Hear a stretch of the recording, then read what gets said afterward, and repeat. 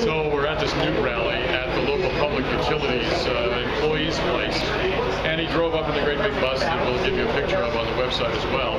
Lots of volunteers, but about I don't know 40 employees or something, and over 200 people from the press. This looks like a race to the bottom for Newt Gingrich.